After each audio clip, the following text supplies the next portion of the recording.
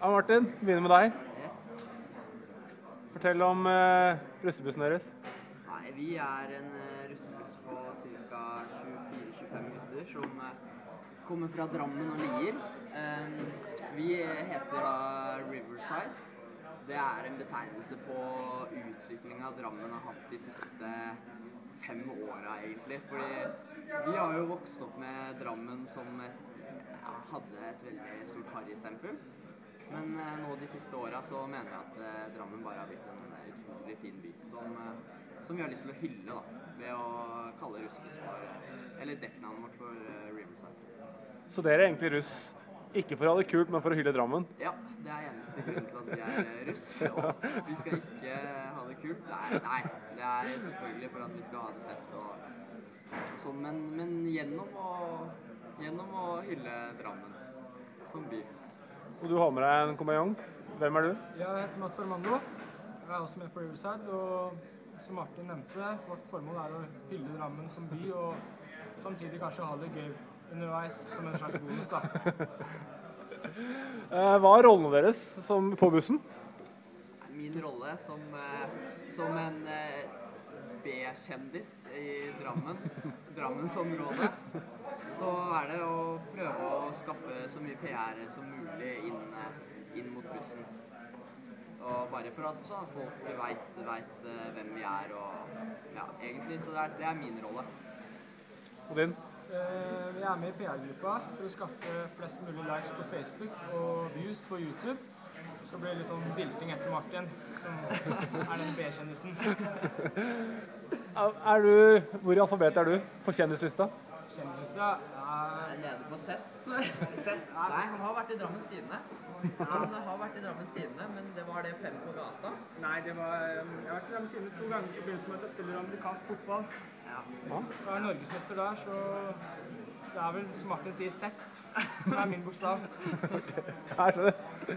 Eh, Så går vi over til Mjøndalsrussen. Ja. Hvem er du? Andreas Christiansen heter jeg. Jeg er eh, lagkaptein på Final Round. Eh, vi er en buss fra Hokksund og Mjøndalen generelt. Og vi heter Final Round fordi vi går inn i den siste runden da, for å Vi håper at vi skal slå ifra oss i Russland. Men eh, har dere noe sånn samfunnsmål som å fremme Mjøndalen? Er det kun for å feste og ha det kult, dere? Egentlig bare for å slå fra oss. Eh, hva tror du om uh, Drammensrussen? Er, er dere bedre eller dårligere enn de? Jeg tror vi er bedre. Jeg tror vi tåler å drikke litt mer. Men eh, de er vel litt finere i språket liksom oss, da. Det vil jeg tro. Så de de er finere i språket, og dere er finere på fest? Ja, vi er litt, er litt finere i formen enn de gutta der. Eh, jo, hvem tror du har mest drag på damene av Riverside og Final Round? Nei eh, det, blir, det er jo vår buss, selvfølgelig, fordi at Jeg tror det er litt mer status å være med gutter fra Drammen og Lier, kanskje, enn fra, en fra 3050. Eh, jeg veit ikke. Nei, kommer det status inn, da. Det, det funker i starten, det, vet du.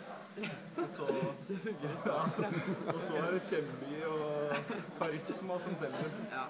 Og der er Mjøndalen best. Der er vi best. Men også satser jo vi på å ha damer som som ikke har 17 i promille òg, da. Som kanskje, som kanskje de satser på.